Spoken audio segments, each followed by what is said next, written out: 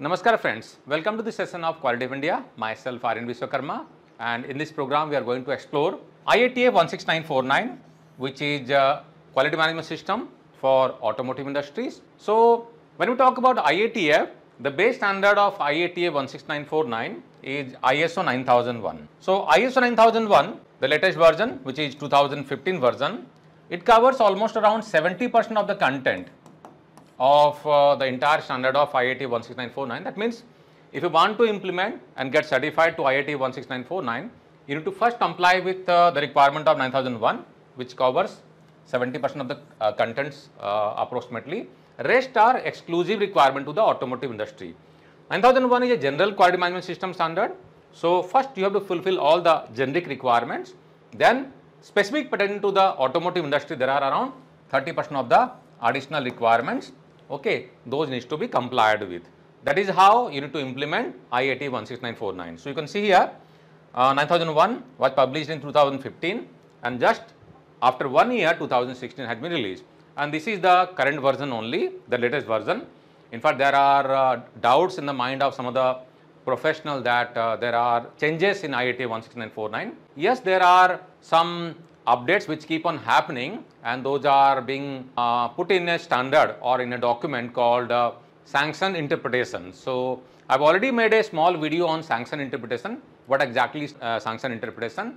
So, to know about sanction interpretation and whatever are the minor updation which keep on happening or clarification, more of a updation than clarifications are there in uh, this uh, sanction interpretation. I think most of the contents are pertaining to the auditors. For them, it is helpful to understand various requirements and uh, various auditing complexities are explained and how to uh, fulfill all the requirements. Some of them are pertaining to the companies uh, which is implementing. So, my request would be to go through that video of uh, sanction interpretation and you will find the video in uh, the video gallery. So friend, this is a small video just to appraise you about the basic level of requirements of IATF 16949. We cannot cover everything uh, for a small video uh, for YouTube. We have detailed course on awareness and uh, for qualified internal auditor. If you want to explore the uh, detailed course, online course, you can access the course from uh, at the convenience of your home and uh, you can learn the subject and you can get certified also. To know about the detailed process of uh, getting certified to IAT 16949 internal auditor program, you can visit our website www.qualityhubindia.com or you can visit to our uh, course portal that is courses.qualityhubindia.com or you can download Quality Hub India's app also from Android store or iOS store. Now let's proceed and explore IAT 16949 in a broader sense. So friends, when we talk about IAT 16949 and its clauses, clauses are the same. Likewise, the 9001, 9001 uh, has a total 10 clauses. So uh, IAT also has uh, 10 clauses only. But the important point to note over here is that in almost all the clauses, there would be supplemental requirements, which means that you have to first comply with all the generic requirement given uh, in 9001 and then there are some additional requirement in each and every uh, clauses. So, you need to go through that, you need to understand them and you need to comply with those requirements to be certified to IAT 16949. So, if you talk about clauses, introduction, scope, normative reference and terms and definition, these are the common clauses and these are called non-auditable clauses whereas the auditable clauses starting from clause number 4 that is context of the organization, leadership, then planning, support, operation, performance evolution and improvement. So, these 7 clauses are called auditable clauses. So, the auditor who will be visiting to your uh, organization, the third party auditor, they are going to basically cover all these clauses for certification program. And IAT 16949 is also based on PDCA cycle that is plan, do, check and act. So, clause number 4, 5, 6 and 7 this is part of uh, planning phase. Clause number 8 is do phase that is execution and that is the biggest clause we have. Clause number 9 is all about performance evolution. So, all those uh, uh, evolution that is uh, process audit, product audit, then internal audit are part of your check phase that is clause number 9. And finally, we have clause number 10 that is improvement. So, continual improvement is a part of clause number 10. Uh, so, this is PDCA cycle. Uh, as we know that this is developed by Dr. Edward Deming. Now, talking about the scope of IAT 16949. So, this applies to any organization who are into design and development of any product into the value chain of uh, the automotive industry or into production or into assembly, installation or services of any automotive related products. If they are also manufacturing any products with embedded software then also it applies to them and this is also applies to uh, the organization uh, who are manufacturing customer specified production parts or service parts or any accessory parts. Okay. So if you are into uh, any of this kind of manufacturing or uh, service industry which is catering to any of these elements uh, then IATF applies to you. And this IATF standard can be applied to uh, throughout the automotive supply chain. Now talking about the revision in IATF 16949 uh, this is the latest version which is IATF 16949 based on the generic quality management system standard that is 9001. But prior to that the automotive industry's quality management system standard was known as ISO TS 16949 and there has been couple of revisions also. First of all this got published in the year 1999 okay uh, ISO TS this was never a standard this was called technical specification okay and this was based on 9001 1994 version and the first revision or second edition was published in 2002 and the base standard was 9001 2000 and the third edition or second revision came in uh, 2009 which was based on 2008 version of 9001. So, these are all older version and the latest version is IATF 16949 and this is the standard. So, prior to IATF 16949 we were using only one standard. So, in the same standard we had IS 9001 content as well as ISO TS content, but now we have to refer two standards. One is the generic standard that is 9001, the other one is IATF. So, both the standards are separate, you have to buy both the standards, understand and comply with. Now, talking about the goal of IATF 16949, it has three goals. The first one is continual improvement, second one is defect prevention and third one talks about reduction of variation and waste in supply chain. So, the organization which is implementing IATF 16949, they have to make continual improvement in their processes and practices. They have to do defect prevention. So, prevention is the motto over here, the focus is on prevention rather than doing uh, corrective action. It does not mean that you should not be doing corrective action, but focus should be defining, designing a good system which will be preventing defect. Okay. And then reduction of variation and waste in supply chain. So, indirectly this talks about uh, Six Sigma and lean aspects. So, the organization should be also practicing those things for reduction in variation and waste in supply chain.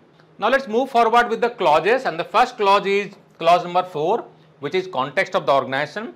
So, the organization over here needs to identify the purpose of the organization and we have four clauses over here or sub clauses rather. 4.1 talks about understanding the context. So, you need to understand the purpose of the organization, you need to identify the uh, needs and expectation of all the interested parties okay and then scope of your systems certification needs to be identified and 4.4 talks about quality management system. So, here we have some additional requirements also so, in 4.3.1 of IAT 16949, it talks about permitted exclusion and in the exclusion, you can only exclude product design. Process design cannot be excluded.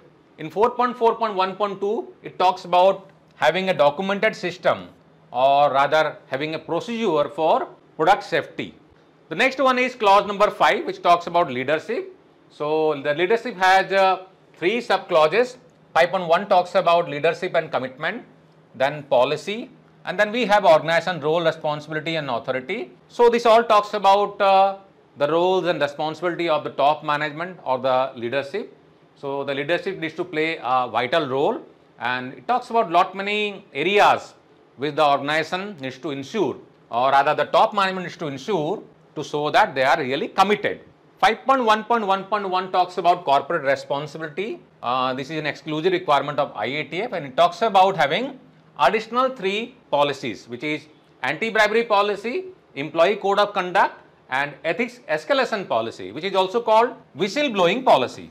5.1.1.3 this is also an exclusive requirement of IATF. This talks about identification of process owners and 5.3.2 talks about defining responsibility and authority for product requirements. So, somebody needs to be authorized for stop shipment. This is an exclusive requirement for IAT 16949. Clause number 6 talks about planning and in planning we have three sub clauses.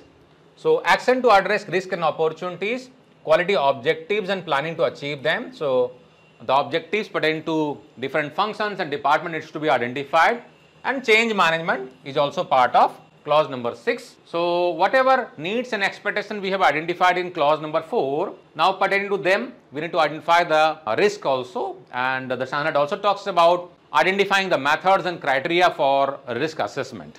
There is some additional uh, requirement in 6.1.2.1 of uh, IAT 16949 pertaining to risk analysis. 6.1.2.3 this is an exclusive requirement in IAT 16949 which talks about contingency plan. I have already made an exclusive video on this uh, if you talk about the YouTube videos but in our courses we have a detailed module on contingency plan with detailed uh, examples and case studies. So, in the contingency plan you should be having a notification process and you should be periodically evaluating also the effectiveness of your contingency plan and you should be reviewing it also. Clause number 7 talks about support and here we have 5 sub clauses. 7.1 talks about uh, resources. So, various kinds of resources the organization should be having like infrastructure, manpower, tool tackles, everything. And then people working in the organization they should be also competent enough to execute their activities uh, effectively.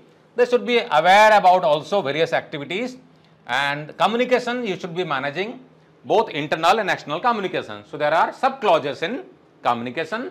There are sub clauses in in fact uh, almost all the sub clauses. Okay. 7.5 is very much important. This talks about documented information. So, the document management is being described in 7.5.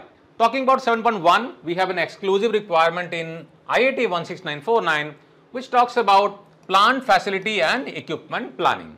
And in 7.1.5, we have some exclusive requirement in IAT 16949 which talks about measurement system analysis that is MSA. So, MSA should be carried out by the organization. Then calibration and verification, this is also requirement, mandatory requirement and then laboratory management. So, these three are exclusive requirement as far as IAT is concerned, but we have other requirements from 9001. So, I am not much focusing on 9001 because I have already made a small video for YouTube on 9001. So, it should be going through that. Okay, right now we are focusing more into the IATF elements. And in MSA that is 7.1.5.1.1 talks about having records of customer acceptance of alternative methods. If at all you are using any alternative method, you should be having records. It is a SAL requirement. So, wherever in the standard it talks about a SAL requirement which means it is a mandatory requirement. If you do not comply to any SAL requirement, you are liable for a non-compliance. And wherever in the standard it talks about retaining something which is basically talking about retaining the records. So, it means that the standard is asking you to keep the records handy as an evidence of compliance. In 7.2.3 talks about internal auditor competency. So, very exclusively IATF talks about internal auditor competency which is not there in 9001. 9001 gives very generic requirement but in IAT 16949 it talks about very detailed requirement for an internal auditor. Okay, I am not going to discuss about the detail uh, part of uh, the requirements. If you want to explore all these requirements of IAT 16949 in more details and you want to become a qualified internal auditor, my request would be to opt for our detailed course.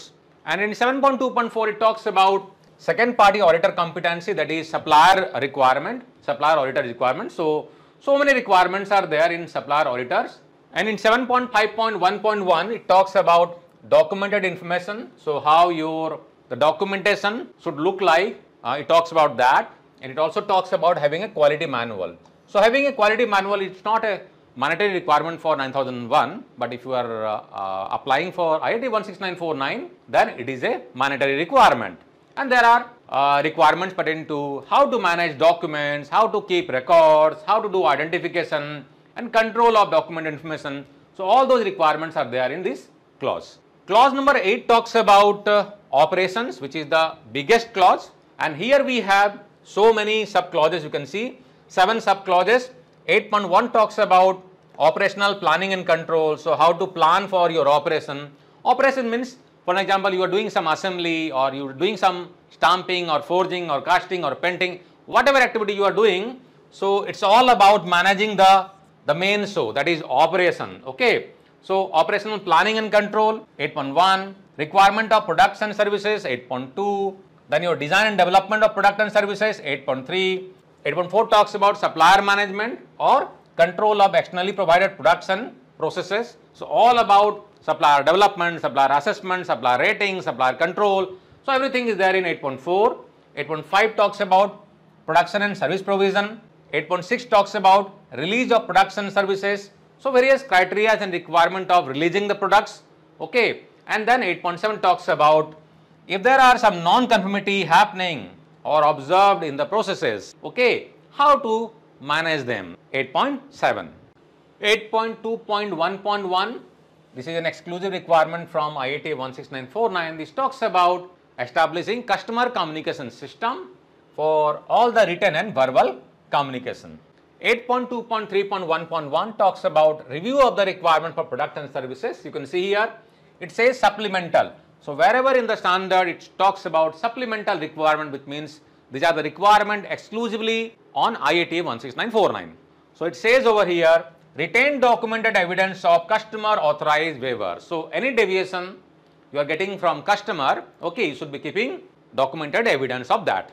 8.3.2.1 talks about design and development planning. It's a supplemental requirement from IATF and it is asking you to follow a cross function team or multidisciplinary approach. In fact, you should be using multidisciplinary or cross function team approach for advanced product quality planning that is APQP and in the APQP you should be uh, making or developing control plans for that also uh, cross function team is recommended for all the activities of PPAP again you need to follow a cross function team approach or multidisciplinary approach okay? For SPC also normally uh, various department would be engaged or various agency would be engaged collecting data plotting control charts and then uh, assessing the capability. So so many stakeholders are involved. So mostly talking about uh, the product development or APQP or PPAP activities and in fact all the documents you should be following multidisciplinary approach and in IATF 16949, it also talks about DFM and DFA. If you know about DFM and DFA, please write down in the comment section. Or if you want me to make a video on DFM and DFA, then also you can comment. 8.3.3.3 talks exclusively about special characteristics. These are the critical characteristics. So, how to control them? Exclusive requirement from IATF 16949. So, normally you should be using SPC for all the special characteristics, okay. And you should be having a symbol conversion table. If you know about symbol conversion table, then also please comment. And the symbol conversion table shall be submitted to the customer if it is needed by the customer. So, in IATF 16949 in clause number 8.4, there are some supplemental requirement pertaining to supplier management like in 8.4.1.2 it talks about supplier selection process. So, there are so many exclusive requirement in supplier selection process and all these elements to be covered in your uh, normally the checklist which is used for supplier assessment all these points should be covered. So, these are all exclusive requirement from IATF 16949. 8.4.2 talks about type and extent of control. So, how to control your suppliers it is all about that. This is 9001's requirement and talking about IATF again it has some supplemental requirement from IATF okay, you should be having a documented process. It's a SAL requirement, mandatory requirement to have a documented process if you are IATF compliant organization, okay. And then supplier quality management system development you should be having, this is a requirement from IATF only. And then again supplier development, how the development should be done. Normally how the development is done, first of all the basic system should be put in place uh, at the supplier end then you should be pushing the supplier or facilitating the supplier to go for 9001 certification and once they are compliant to 9001 then you should facilitate for IATF. So, in three phases you should be developing your supplier. This is what the recommendation from IATF 16949. Then 8.4.2.4 IATF talks about supplier monitoring again an exclusive requirement from IATF 16949 and so many requirements are there. Okay, we are not going to go to the details as I told you, it's a very broad level of session. 8.4.2.4.1, second party audit, that means supplier audit. Second party audits are audits done between customer and the supplier, having business relationship. Okay. So, if you are going to uh, go to your supplier and for assessing your supplier, system audit, product audit, process audit, this all would be called second party audit. So, how to do second party audits? Those things are recommended in 8.4.2.4.1 and 8.4.2.5 talks about supplier development program. This is again an exclusive requirement. 8.5.1.1 talks about control plan again IATF requirement. Okay, so at Quality Hub India we use uh, this uh, yellow color band just for the identification. So wherever you are seeing yellow color band which means those are exclusive requirement from IAT 16949. Okay. Wherever we have blue color band that is basically generic requirement from 9001. So, so many requirements are there pertaining to control plan and as we know that uh, in 2024 on the 1st of March 2024 we have an exclusive separate manual of control plan first edition and the APQP has also gone through some changes. Uh, now it has third revision with some additional requirements. So, if you want to learn about APQP latest version, control plan, in fact, the 6 core tool, we have an exclusive very detailed course on 6 core tool. You must explore that because the core tools are the foundation for any quality management system. And Quality Hub India's core tool course is the best in the business. You won't find anywhere such detailed elaboration, case studies and examples like we have at Quality Hub India. 8.5.1.5 again it's a new requirement it talks about TPM. Now coming to clause number 9 which is uh, check phase of PDCA which talks about performance evolution and over here we have three sub clauses in 9001 or in IATF uh, both the standards. 9.1 talks about uh, monitoring, measurement, analysis and evolution, all the generic requirements. So, uh, whatever processes and practices you are having within your organization in fact all the department and function they should be monitoring and measuring all their processes okay and whatever data they are going to get they should be analyzing evaluating if they are fulfilling the requirement achieving the targets or not if there are gaps they should be assessing the gaps and initiating action. So 9.1 all about that. Okay. 9.2 talks about process of internal audits and management review so in internal audit in IATF there are some exclusive requirements for an example, process audit that is manufacturing process audit and product audit as well, which is not a requirement in 9001.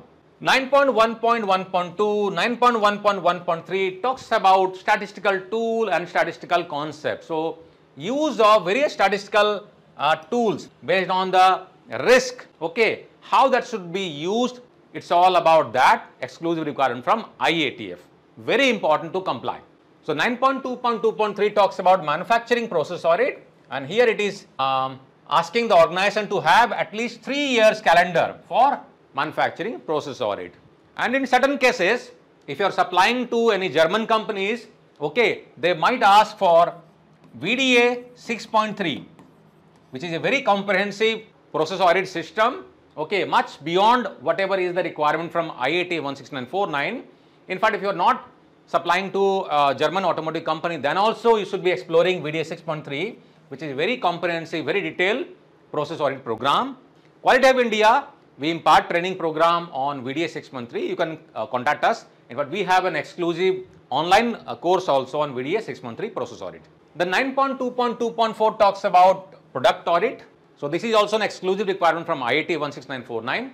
9.3 talks about management review that is management review meeting which is called generally.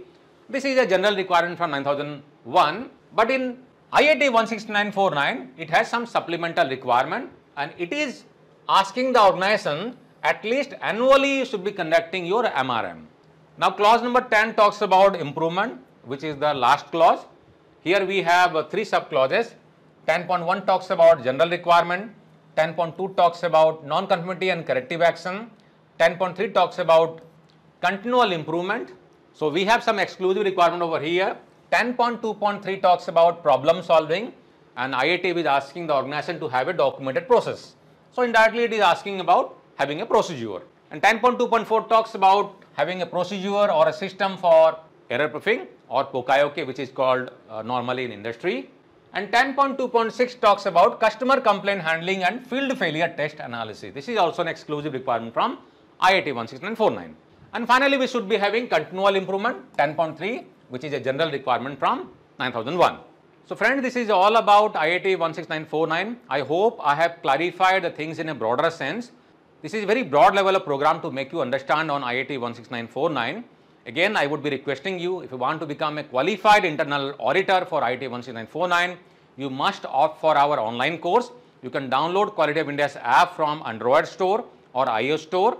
We also do physical training program at uh, our uh, corporate clients. So if you want a training program at your company, you can also contact us. And for detail about our services, you can also visit our website www.qualityhubindia.com. So friends, see you in next video. Take care. Jai Hind.